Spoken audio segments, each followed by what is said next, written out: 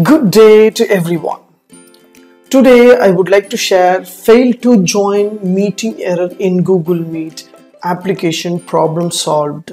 Yes, problem solved in Google Meet application if you are using in your mobile phone it will show sometimes a fail to join the meeting error meeting and camera is not working mic is not working every problem solved here let's see how to do that before that kindly subscribe HowXT channel and click the bell icon so that you can get the useful videos and the notification. Yes, in your mobile, if you installed Google Meet application means just type Google Meet application.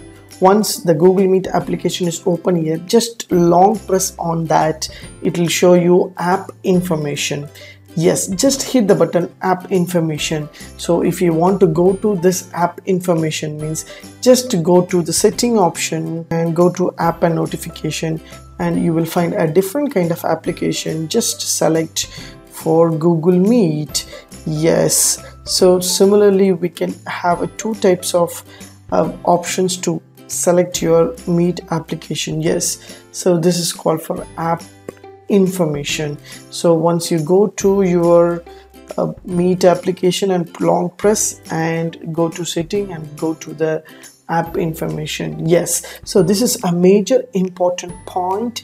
We can able to clear all this a local storage everything means the error won't be occur for the google meet application. Yes the first one the permission. So you need to check the permission of given for your camera and microphone whether you're working. Just to press camera. It should be allow should not be deny should be allow so that your camera should work properly. Check that. And the second one your microphone your microphone should not be denied it should be allow so check that your camera and microphone should be allow option. Yes. And contact should be denied as well as phone should be denied. So only camera and microphone should be allow yes. The second option is storage and cache. So once you click storage and cache this will occur lot of lot of information in your application. You need to clear all this clear catchy and clear storage options so that your application will be open fast and easy to join. Just press clear catchy option. So automatically catchy option will be clear and clear storage.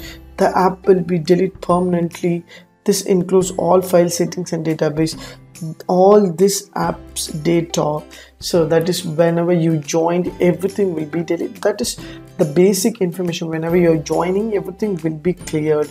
Just to press clear option means the application will be the same thing but the data which is stored in the temporary memory for example your if you're on your data means the temporary memory will be working so that it should be clear. So this is easy way you can clear use data and cache options. So is everything's cleared. Now just select mobile data option.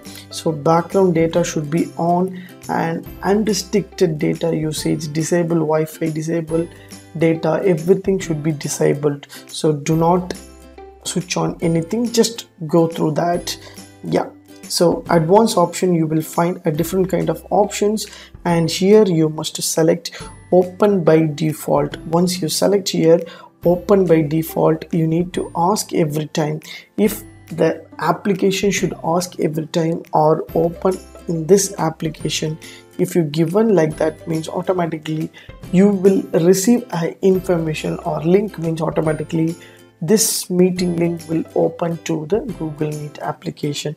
So select open these applications. Yes this is a default one you need to choose. So this is an easy step. You can able to work out with uh, option the basic stop basic storage and information you need to give a thing. So you need to clear the data give the permission and choose a open default option means automatically your google meet will be work without any errors. Yes. So now i would like to show you.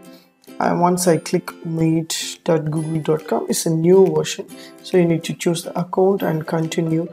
So allow allow yes. So now you can able to work out with a new meeting. There is no errors will be occur. Directly you can join the meeting or start the new meeting. Thanks for watching. Have a good day